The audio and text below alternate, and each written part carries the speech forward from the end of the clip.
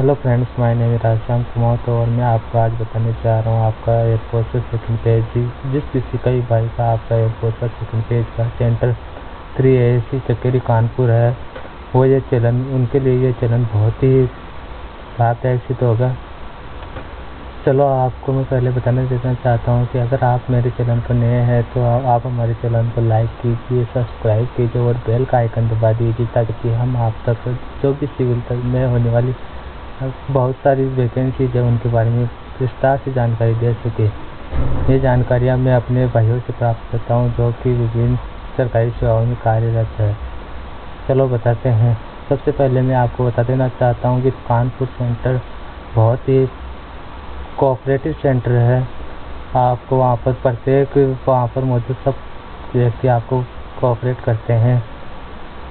सबसे पहले आपको सुबह जो आपका एडमिट कार्ड में दिया है परमिशन टाइम उसमें आपको साढ़े पाँच बजे। हाँ भाई फिक्स आपको साढ़े पाँच बजे जाना अनिवार्य है, साढ़े पाँच बजे से आप एक घंटा पहले वहाँ पर जाकर सेंटर पर खड़े हो जाए क्योंकि वो बहुत सख्त व्यक्ति है।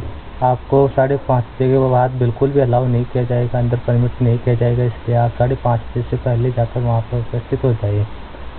आपको वहाँ पर जाते वक्त आपके बाहर दो ऑफिसर्स रहेंगे वो आपसे आधार कार्ड और आपका फ़र्स्ट पेज का एडमिट कार्ड मांगेंगे।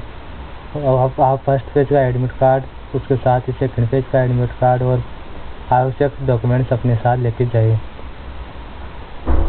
जैसे आप अंदर चलते हो अंदर आपको बिठा दिया जाएगा वहाँ पर बिठा करके आपको आपका जो सेकंड पेज का एडमिट कार्ड है वो फिल करवाया जाएगा। अगर किसी भाई के हाथों पर या कहीं से किसी कहीं पर भी टेटो है। या स्टिकर है किसी भी प्रकार का तो आपको सेकंड वाला कॉलम भरना है और आज किसी के सर्टिफिकेट नहीं है।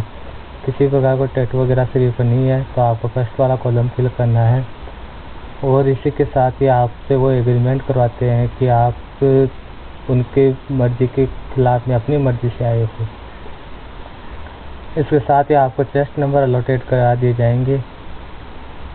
और आपको टेस्ट नंबर अलॉटेड कराने के बाद वहाँ पर आपको रनिंग के लिए बसों में बिठा कर के दो दो किलोमीटर दूर ले जाया जाएगा। आपको वहाँ पर बिठा कर के बसों में दो किलोमीटर दूर लेके जाएगा। हाँ एक आपको भाई दो किलोमीटर दूर लेके जाएँगे वहाँ पर बसों में बिठा कर के उसके बाद आपको वहाँ पर अलग अलग ग्रुप में डिवाइड कर दिया जाएगा। सौ सौ के बैच बनाते हैं वो। प्रत्येक बैच में सौ लड़के होते हैं। रनिंग के लिए आपको बीच बीच में रास्ते में बहुत ही शानदार सड़क बनी हुई है। एकदम बिल्कुल बीच में कुछ भी नहीं है। आगे आपके एक ऑफिसर की गाड़ी चलेगी, पीछे आपकी वैन चलेगी और आपको रनिंग के लिए पूरा समय दिया जाएगा। वो अलग अलग कतारें बनाते हैं। आपके जब तक लास्ट वाला लड़का वो लाइन क्रॉस नहीं कर लेता, तब तक आपका टाइम स्टार्ट नहीं किया जाएगा। इसलिए किसी भी प्रकार के मन में कोई दुर्विचार नहीं रखे। इसके साथ ही आपको वहाँ पर, जैसे ही आप रनिंग करते हो तो वो आपको कोऑपरेट करते हैं, आपको बताते हैं, सही मार्गदर्शन देते हैं और जो रुकता हुआ बच्चा कमज़ोर बच्चे उनका साथ देते हैं। अगर कोई जो लड़का दौड़ पास कर लेता है, उनको रखते हैं और जो दौड़ पास, दौड़ में फेल हो जाता है, असफल हो जाता है, उसको बाहर कर दिया जाता है। और उसको बताया जाता है कि आप दौड़ में असफल रहे हो, अगली बार वापस मेहनत करके यहाँ तक आना। उसके बाद आपको अंदर ले जाया जाएगा, अंदर ले जा करके आपका बायोमेट्रिक किया जाएगा और जो फ़र्स्ट वाला फ़ेज़ है उसका फ़िज़िकल चालू रहेगा। फ़िज़िकल चालू फ़िज़िकल के अंदर आपको बताया जाता है कि कैसे आपको सही पोजीशन के अनुसार आपकी पूरी पोजीशन बताते हैं, कैसे आपको सेटअप करनी है स्क्वेट्स करना है पुशअप करना है। सबसे पहले वो सेटअप करवाते हैं। सेटअप आपकी दस होती है, जो कि सेकंड पेज के एडमिट कार्ड में दी हुई होती है। और वो आपको विस्तार से बताते हैं कैसे करना है।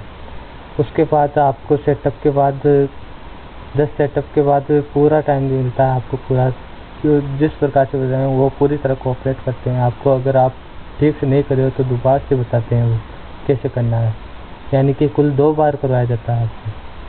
अगर आप असफल रहते हो तो बाद में आपको आउट कर दिया जाता है। उसके बाद आपका चलता है। पुशअप पुशअप के अंदर आपको दस पुशअप निकलवाई जाएगी वहाँ पर। बताते, वो बताते हैं कैसे निकालनी है। उसके बाद आपको सेटअप करवाई जाएगी। सेटअप के अंदर आपको, सेटअप के बाद आपको पच्चीस स्क्वायर्स करेगी। पच्चीस स्क्वायर्स में आपको बताया जाता है कि कैसे आप स्क्वायर्स करें।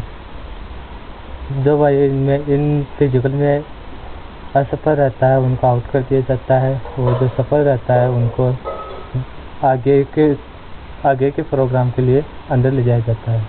आगे का प्रोग्राम होता है आपका।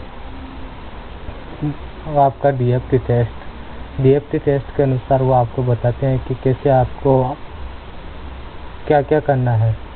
वो पूरी विस्तार से जानकारी बताने के लिए वो प्रोजेक्टर रखते हैं। प्रोजेक्टर पर आपको पूरी तरह बताया जाता है कि क्या करना है।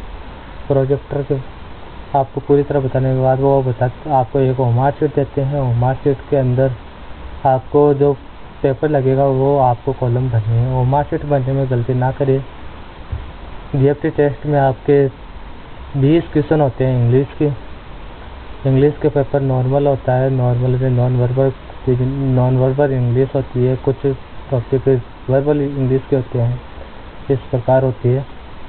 तो क्वेश्चन पूरे अटैम्प करिए आपका वो, वो कहते हैं आप पूरी तरह अटैम्प करिए क्वेश्चन पूरे अटैम्प करिए।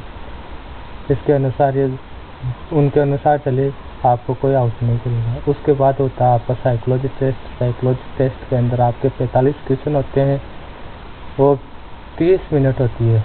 हाँ भाई 45 क्वेश्चन और 30 मिनट 45 क्वेश्चन उसके आपको पूरे अटैम्प्ट करने होते हैं।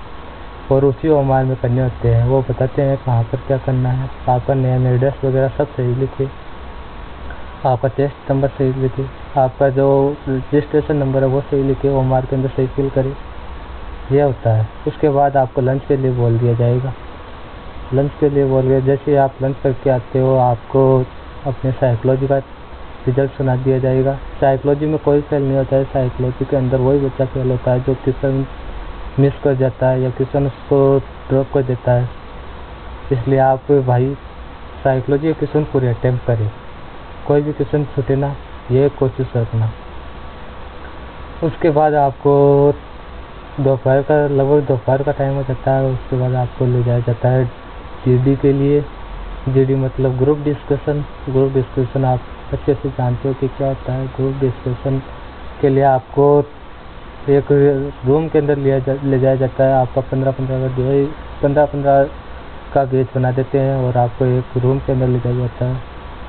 वहाँ पर आपको दो जीटीओ मिलेंगे और उसके सामने आप अपने कुर्सी पर कुर्सियों पर बैठाते हैं। कुर्सियों पर बैठाकर आपको एक को पंद्रह एक पंद्रह कार में बैठा देते हैं। आपको कुर्सी पर बैठना होता है। कुर्सियों पर सही पोजिशन रखिए। अपना विनय दिखाए वहाँ पर।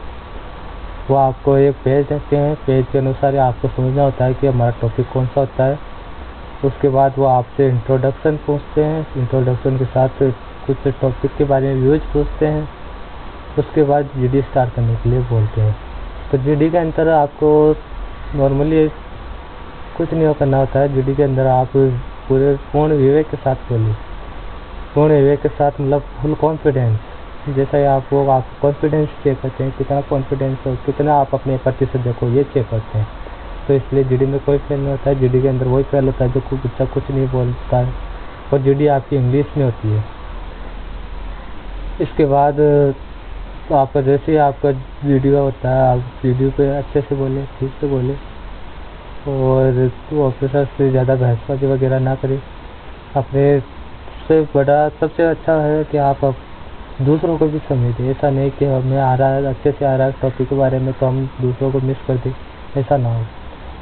सभी को तो सभी को कोऑपरेट की भावना रखनी चाहिए। इससे आपका जी क्लियर हो जाएगा सौ परसेंट। उसके बाद आपको वापस रूम में बैठा दिया जा जाता है। वापस आपको उसी रूम में बैठ कर कुछ फॉर्म फिल करवाए जाते हैं। फॉर्म फिल के अंदर आपको अपने प्रकार से कुछ फॉर्म फिल करवाते हैं वो। इसलिए आपको अपनी प्रकार की पूरी जानकारी होनी चाहिए। और डॉक्यूमेंट्स वगैरह तो वो पहले से ले लेते हैं, इसलिए डॉक्यूमेंट्स वगैरह की जानकारी भी रखिए। इसके बाद आपको टेस्ट नंबर आपका जो रजिस्ट्रेशन नंबर है, उसका साथ में लेकर वो टेस्ट नंबर के साथ आपकी फ़ोटो ली जाती है। फ़ोटो लेते वक्त आपको जो सीट जाती है, जिस पर आपका टेस्ट नंबर और रजिस्ट्रेशन नंबर लिखा हुआ है वो ठीक से पकड़ना चाहिए, क्योंकि वो फ़ोटो इम्पोर्टेंट होती है। और आपका, अपने प्रकार का एक वो फॉर्म फिल करवाते हैं, उसमें सही से जानकारी भरे कुछ भी गलतियाँ ना करें। ये गलतियाँ आपको आगे भारी पड़ सकती है। इसके बाद, आपका मेडिकल का फॉर्म भरवाया जाएगा। मेडिकल के फॉर्म के अंदर आप सही से जानकारियाँ भरिए आपका मेडिकल का फॉर्म का पूरी पूर्णतः चार पेज का मेडिकल का फॉर्म होता है, वो आपको भरना होता है। चार पेज के मॉडल मेडिकल फॉर्म के अनुसार आपको डेट लिखने के लिए मना करते हैं। उसमें डेट फिल नहीं करना होता है, बल्कि पूरी जानकारी आप सही फिल करें। अगर आपको किसी प्रकार की बीमारी वगैरह हो तो आप उसमें सही से फिल करें और बताएँ। उसके बाद ही आपको शाम तक जीडी का रिज़ल्ट आ जाता है और जीडी के अंदर बताया जाता है कि कौन कौन सा फल असफल रहा है। असफल विद्यार्थियों को आउट कर दिया जाता है। आउट करने के बाद उनको बताया जाता है कि आप इस दौड़ से आउट हो चुके हो। अगली बार वापस मेहनत करके आना। फिर जो बच्चे सफल रहते हैं, उनको जो मेडिकल का एग्जामिनेशन होता है, उसका एडमिट कार्ड देते हैं और उसमें डेट फिल करवाते हैं। डेट फिल करवा कर आपको बताया जाता है कि शरीर की पूर्णतः सफ़ाई करके आए। कान वगैरह व्यस्त ना हो। ये सब बता करके, ये सब बातें अच्छे से इंस्ट्रक्शन देकर आपको बताया जाता है। और सभी भाइयों से निवेदन है कि आप जो वहाँ पर डॉक्यूमेंट्स देते हो, वो वापस आप अपनी सुरक्षा के अनुसार लेकर आए। क्योंकि उनकी कोई गारंटी नहीं होती है कि आपके डॉक्यूमेंट्स की उनकी कोई गारंटी नहीं होती है। इसलिए आप डॉक्यूमेंट्स को अपने विवेक से कलेक्ट करके ले आए। इसी के साथ ये होती है आपके सेकंड पेज की पूरी तैयारी। इस तरीके ऐसी कानपुर बहुत ही कोऑपरेटिव सेंटर है। ये मैं बात आपको पहले भी बता चुका हूँ। वहाँ पर किसी भी ऑफ़िस से किसी भी प्रकार की बहसबाजी ना करें और विनय के साथ आप सेकंड पेज देके आए। आप ज़रूर सफल होंगे। भाई यार, इतना तो बता दिया आप। लाइक और सब्सक्राइबर तो बनता है यार। लाइक सब्सक्राइब और कमेंट कर रहा कमेंट तो बनता है बेल का बटन दबाना। अगले, आगे के मेडिकल के एग्जामिनेशन की तैयारी और बता दी दी जाएगी आपको। वहाँ पर कानपुर के पास ही आपका जो कानपुर थ्री ऐसी कानपुर है, वहाँ पर ही आपको चकेरी के पास ही वो मेडिकल एग्जामिनेशन का सेंटर आता है। उसके बारे के में जानकारी चाहिए तो तेरे को चैनल सब्सक्राइब करना ही होगा भाई। धन्यवाद।